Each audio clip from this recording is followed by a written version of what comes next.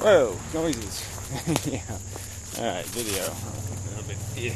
Anyway, um, so I think I'll talk about a couple of little side issues. Videos have been pointed to by other people. And that one wasn't my fault. This root is gnarly. It's a branch, I guess. He eh, grabbed my, grabbed me, grabbed me in a rude manner without my consent. Yeah. Rude stick thing, root.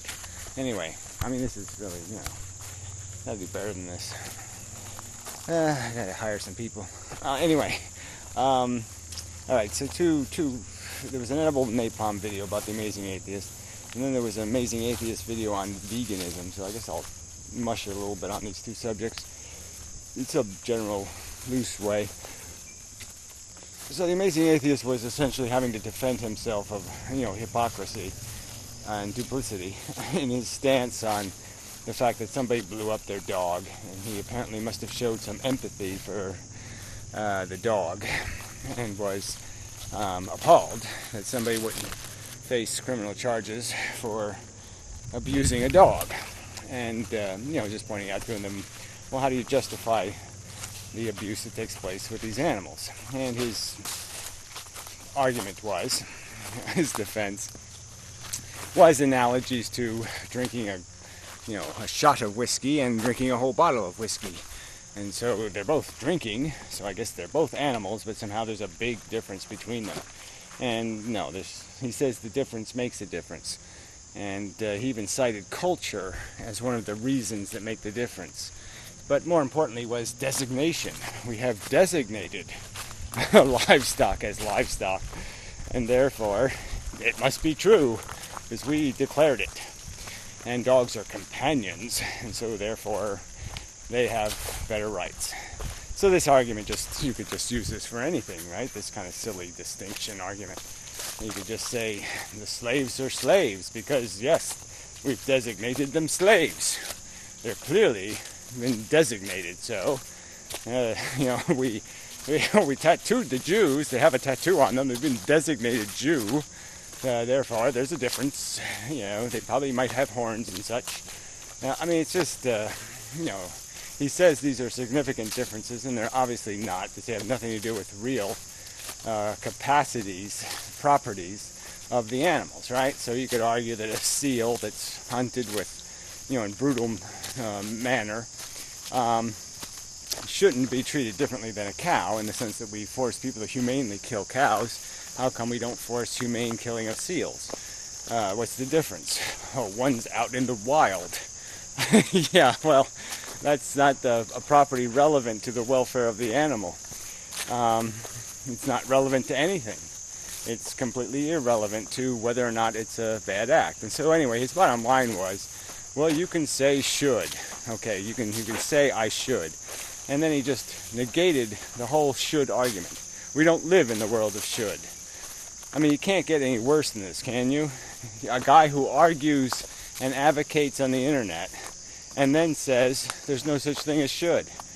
I mean, what sense? I mean, you can't. How, how duplicitous are you going to get, TJ? You're making an argument that somebody should have been prosecuted for cruelty to a dog, and yet you say, but nobody should hold me accountable for the shoulds I haven't said the shoulds that I know that I um, bury in the backyard because I don't want to have to look at them.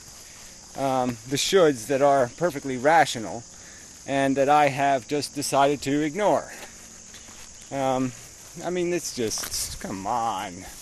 Just call it duplicity. Call it what it is. Because just say it. You're a selfish son of a bitch. You know there's a logical disconnect uh, in your uh, reality map you know, in that you can make these silly distinctions, and especially relying on something like culture, you know, using culture as an excuse, cultural labels somehow make it all right. Um, come on. I mean, just admit that you're full of shit, that people probably shouldn't, you know, take you as a, a reasonable pattern of how a human being should process information that you're just doing it for your own convenience because you don't want to have to deal with the fact that changing your habits would be inconvenient. So just say that. You could even keep your habits and just say, look, I suck. I don't do anything the way I should do it.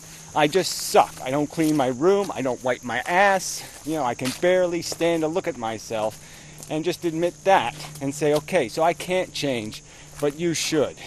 Try to do better. Try to do a lot better than me. Yeah, and don't fucking be cruel to animals if you don't have to. Don't eat them when you don't need to. All right, don't don't be as big a douchebag as me. Why don't you just say that? I mean, goddamn! Instead of doing this, let's break logic, let's break reason, let's defend hypocrisy. You know, using analogies and using something that appears to be logic to defend hypocrisy.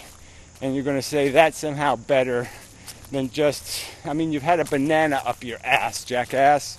You can't really humiliate yourself much more. So, what would be the big deal in just admitting you're a selfish fuck, all right, and you can't do the right thing? You know it's not the right thing, and you, but you just can't do anything about it because you suck. Why don't you just admit it? God damn. oh, you know. So it was just the stupidest video. He just basically, and he ends the big video by basically just saying, yes, you could probably view what I just did as a bunch of rationalizing nonsense. I mean, it's just, you know, fuck. So instead of just saying you're a hypocrite, you just imply that it's okay to think you're one. you know, just to weasel out so you don't look completely like a retard. But it's just what it's just lame. It's just lame. So anyway, all right, second subject. Edible napalm makes a video about TJ's attitude about somehow there should be, you know, I don't know anything about TJ's position. I'm not going to go research it on Tumblr or wherever the fuck it is. Who cares? But anyway, he's apparently TJ's apparently advocated that there should be some kind of free speech zones on the internet. Um, I would label it differently.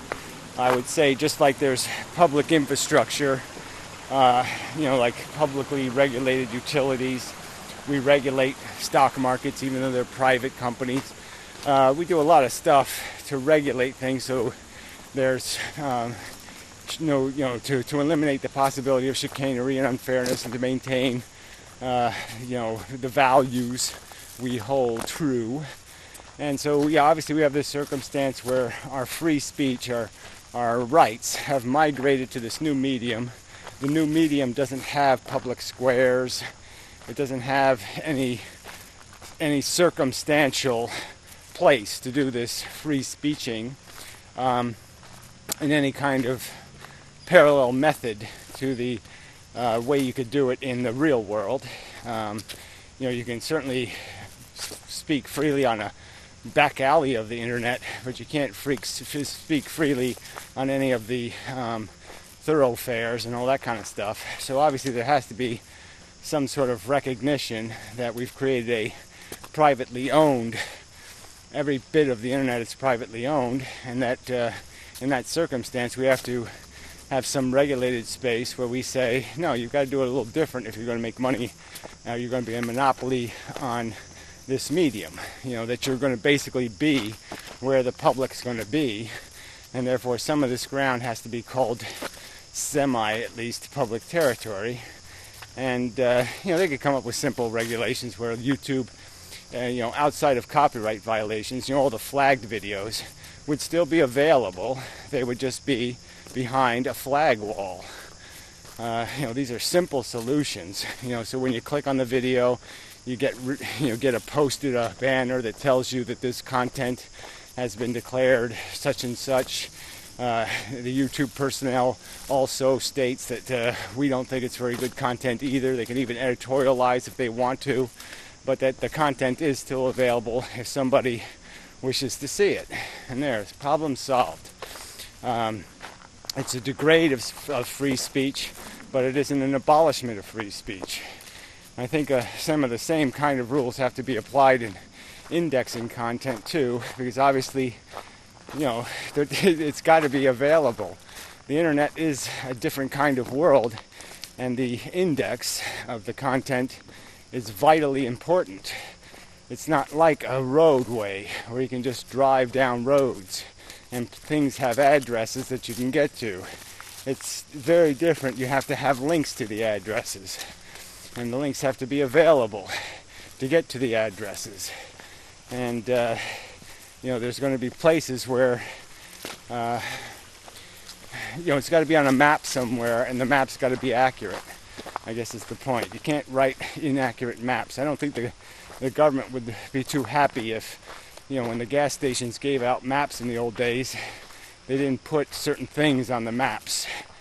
you know, out of pure discrimination, because they didn't like something they said let's not put it on the map. We don't like that road because it has a certain, uh, it's too liberal.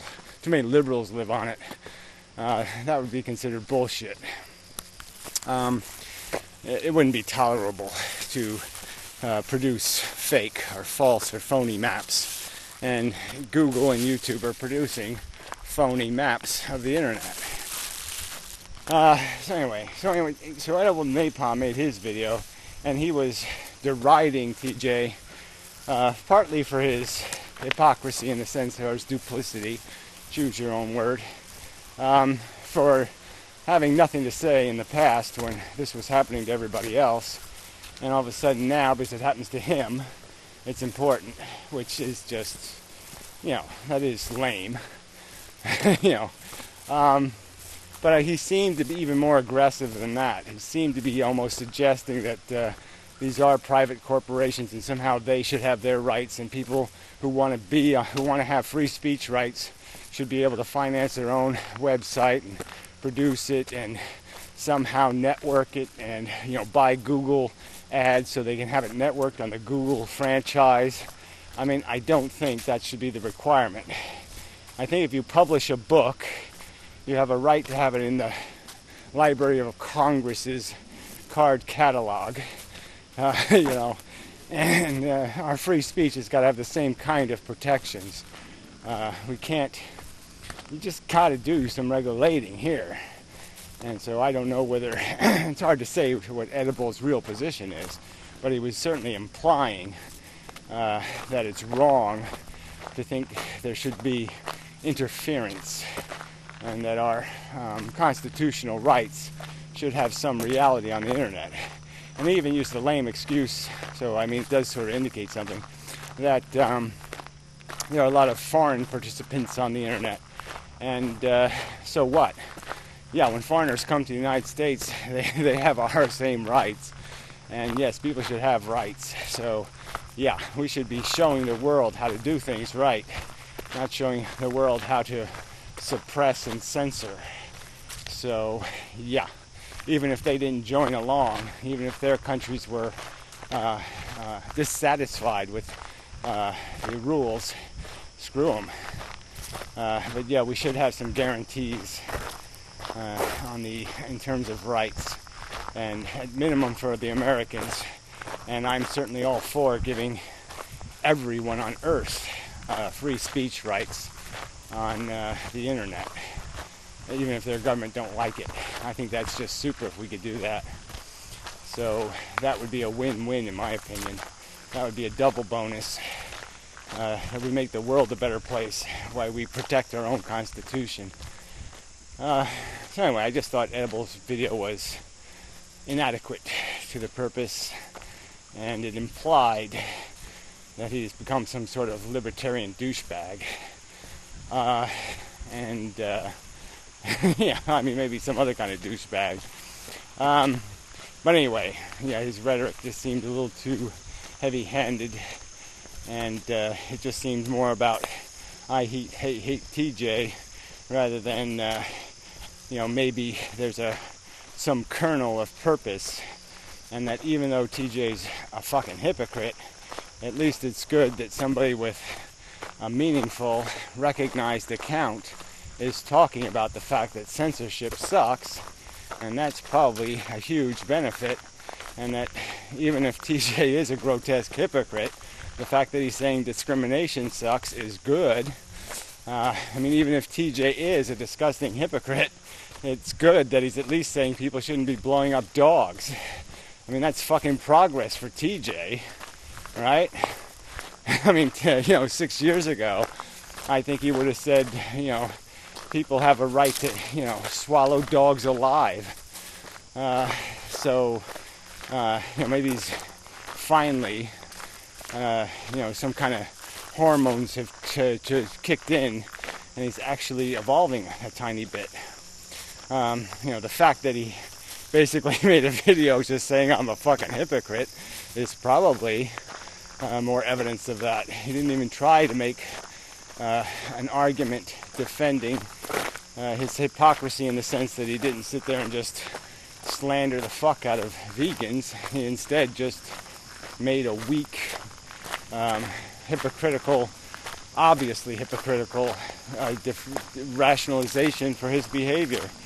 And so, in a sense, it was a huge win for uh, goodness in the world and uh, some evidence of maybe some maturity uh, on the part of the amazing atheist. And so, in an ironic kind of way, it's edible napalm who it might appear has taken some steps backwards or something. But it just might be appearances. It's pretty hard to, you gotta be careful with appearances with edible napalm.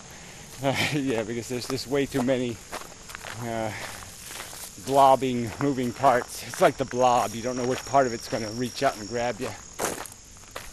Uh, so anyway, I think that's enough. I'm just sort of dragging this out a little so I can finish my walk in the continuity of the babble. yeah. So anyway, if there's any monsters in my pool, ah, no, it looks looks like it's all mine. Yay! It's been nice, nice weather and no people. Not a common uh, occurrence. So I usually get the bad weather to myself. But anyway. So, enough of a video, kind of a change of pace. I was thinking I do have to do some, you know, maybe some political vlogs of some kind. But uh, we'll see. Till next time, much.